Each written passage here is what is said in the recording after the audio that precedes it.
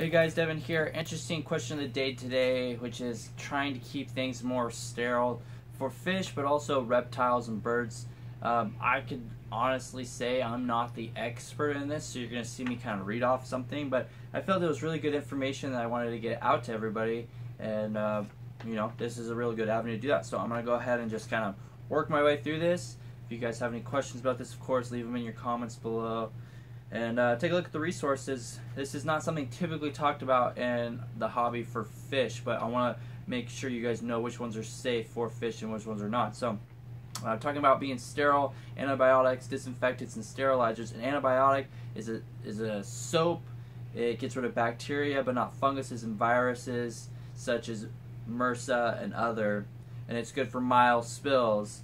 These are decent to use around Uh, aquarium. It's not going to be too harmful for fish, right? If something were to get into the fish tank, say a little bit of hand soap, if you wash your hands, put your hands in the tank, it's not going to be a big, huge deal. Disinfectant, these are pet safe, which are going to be okay to be used around birds, some reptiles, dogs, cats, but not fish. You do not want to get this in water where it could cause some harm. It does kill pretty much anything. The thing about a disinfectant is you want to make sure it is in a liquid state for about five minutes to, for it to be effective. So if you're going to be cleaning something, uh, maybe it's a, a fish tank and it's a dry fish tank and you're swearing down, you want just um, maybe it had a reptile in there before you want to put some fish in there. You got to make sure that it stays wet for at least five minutes for it to be disinfectant.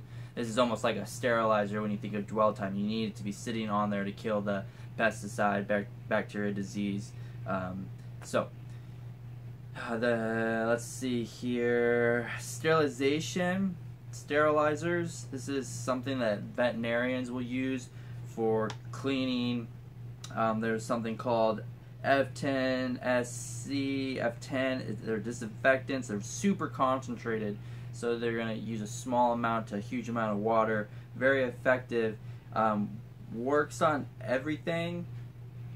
Um, kills on contact while it is wet, and this will even kill things like the flu, MRSA. You want to be super careful with this, and of course, as you can tell because of how extreme a caution I'm putting uh, around this, you want to be super safe around using this around fish. If this gets in the water, it will kill fish quickly. It's not going to just harm them; it's going to kill the fish. So be super uh, careful about that. Pesticides. This is something we use for creepy crawlies inside the house. Um, these are good to use around everything fish, cat, or I'm sorry, not fish. Let me get to that.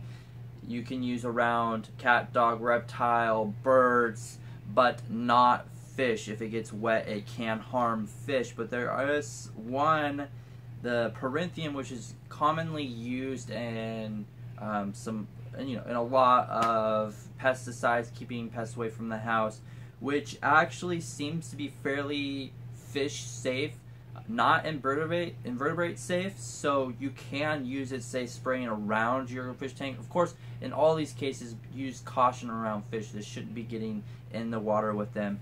Um, but this is one pesticide that is a little more safe for fish than than the others. So these are some some ways to sterilize areas around your fish tank or what you could use prior to your fish going in them. If the ones that are more extreme if you say clean your fish tank and then you get them wet they will harm your fish.